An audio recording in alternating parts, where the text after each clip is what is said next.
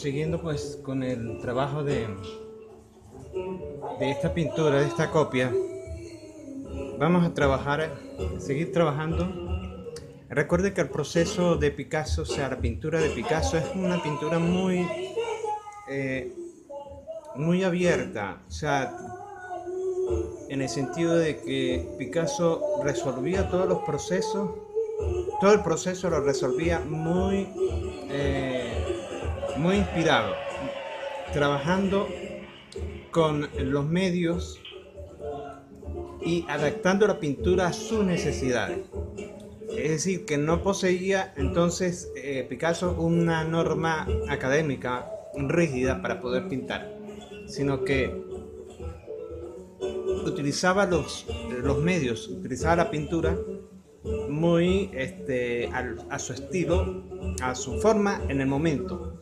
Recuerden que también hay pinturas de Picasso en las que utiliza el, color fuerte, el color puro, el color pastoso. Entonces, mm, sus colores son como más sólidos. En cambio, en estos colores de, de, eh, esta pintura, eh, los colores son como más, más tenues, más suaves, más aguados. Y eso lo estamos viendo y estamos resolviendo más o menos las técnicas como Picasso más o menos las pudo aplicar.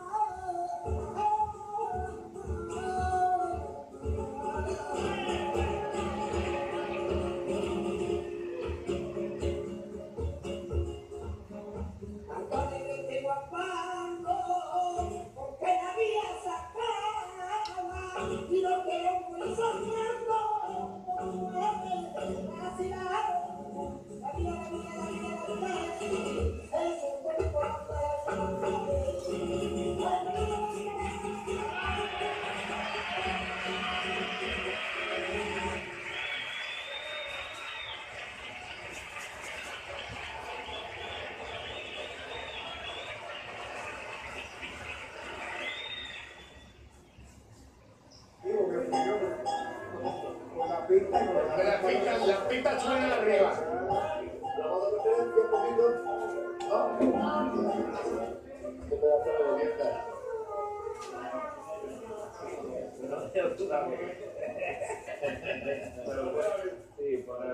se está quejando